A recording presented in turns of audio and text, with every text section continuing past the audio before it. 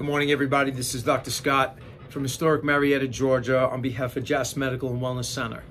Um, I wanted to read this. This was, I shared this actually yesterday uh, on a post, but I wanted to read it because I want people to hear it.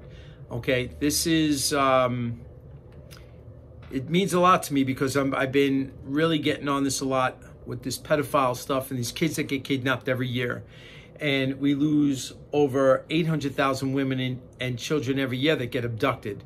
And you would think that this would be front page news. You know, it's not the first time I'm saying this, but it's like you would think it would be everywhere and anywhere, and that we would try to make this come to an end. You know, and uh, my little analogy that I give to it, man, if, if a plane was going down all the time and we were losing 800,000 people a year, the government put those planes on the ground until they found what the hell was going on. Are these children and women not worth it? To, to really go after it? I, I truly believe that it's coming, and I believe that President Trump is doing something about it. I believe organizations like Railroad, uh, Underground Railroad, you know, Tim Ballard is is he's a hero as far as I'm concerned. And um, I'll talk more about that in, in a little bit. But I wanted to share this post verbally that I that this woman uh what what a what a great post she created Christina Grant and she she wrote this here and I want you to think about how you're putting a mask on your children and you think you're helping them you're not you know it you, you, I don't know almost what to say anymore you know you hear and see everything else on the internet you see that maybe you might want to wear one you can't tell me you're not hearing that these kids don't get it and that they don't share it. Because it's all over the place. You know, but yet I see two, four, eight, you know, six year old, five year olds, whatever. And in my church was another thing, you know, and I love my church, you know. Um, but seeing these kids wear a mask because they think these kids are going to get it, you're doing them a favor. The kids don't get it. What you're doing is you're hiding their identity. And it's becoming more dangerous to them than you realize. This is a share that Christina wrote, and I shared it, and she shared it. I took it from her to share because it was word sharing. And I just want to read this to you quickly because it makes sense. I always say it's never important until it's you. Can you tell the difference between these kids? And she put up a picture of all these kids sitting on the stairs, and it's on my wall if you want to see it. Can you tell that they're sad or asking for help? Could you pick them out in a crowd of a thousand people? by requiring kids to wear masks, whether in stores, in schools, or public place. You are robbing them of the one hope of being found in the event that they get taken. You have to see their face. You have to let these kids express. Did you know that more than 2,000 missing children child reports are filed each year? and that many of them can be easily found when parents provide specific details about their physical appearance and a photo of their face. Did you know that a child in America is over 66,000 times more likely to be human trafficked than to get COVID 19? So, do you realize that by requiring children over the age of two to wear a mask, you are making child abduction and human trafficking so much easier on the offenders. So if you don't believe me, there's a story here that I want you to look up. Elizabeth Smart was abducted for nine months, and her abductor took her out in the public all the time. Her face was plastered everywhere and burned into everyone's minds. Everyone was looking for her.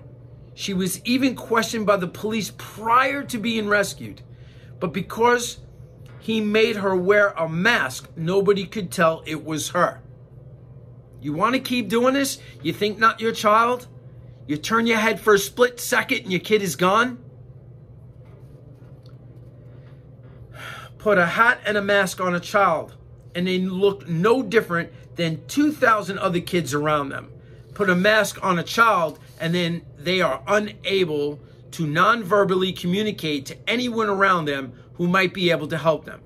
How many children do you think are out walking through the stores or through the streets with their abductors yet go unnoticed because wearing a mask or even a total face covering isn't abnormal anymore? This issue is not about politics or schools or the virus. This is about children. So ask yourself this Do the benefits outweigh the risks? Making a child wear a mask may or may not protect them from a virus that they may or may not even get anyways, that they may or may not have already had. And it was also open, it will also open the door for so many offenders who have lurked in the shadows, afraid to act, to do just that. Go out and actually take a child. Is it worth the risk? So I will ask all of you to share this video and play it. Play it and play it and play it. And I want to thank Christina Grant. God bless you for creating this. This is excellent. Excellent, excellent, because it makes sense. Kids don't get this. And you're not helping them by covering their face and making it much easier for them to abduct these kids. 800,000 children and, and women every year. Just because they're not yours doesn't make this unimportant. And the mask is not the issue today. Start listening and reading and listening some more. Please, you're putting these kids at risk, in danger. You less self-confidence you're giving them. These kids that are already stressed with ADD, ADHD, Asperger's, you can go on and on and on. This is not helping these children. So parents, please do your research on this with children and wearing a mask. They don't get it and they don't share it. Please share this video. It means a lot to me.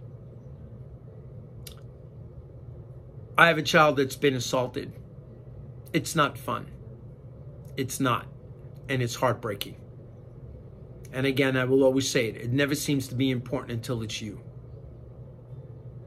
there is an organization that I, I belong to, and I'm going to be putting this video on there for everybody to share and donate. I don't care if you donate a dollar, $3, $5, a $100, $500, whatever you feel you'd like to give, because Mr. Tim Ballard from Underground Railroad is doing an amazing, an amazing job in rescuing children around the world, not only in this country, but around the world. And he's now saved, I believe, over 2,090 or 2,100 children at this point. He can't keep doing it without support. He gets limited support, which shocks me, you know, but it doesn't in a way, right? This is why these fundraisers, when you give a dollar or $3 or $5 or whatever else that it is you can give, makes a difference. When you can mul- multiply that by 500 or 1,000 or 20,000 or 40,000, that $3 becomes big money to help these guys do their job. He's ex-CIA. He's got, he works with many different police around the world and in this country to help save these children and put those who are responsible behind bars. Look up Tim Ballard, please, from Underground Railroad. He's doing amazing work. Please share, like, love this video as much as you can. You just might save a life. Thank you so much. This is Dr. Scott Perlman on behalf of Jas Medical Wellness here in historic Marietta, Georgia. And as I always say, do your research, and it's important to me that it's important to all of you, always. Thank you so much. God bless, and have a fantastic, healthy day. Bye bye.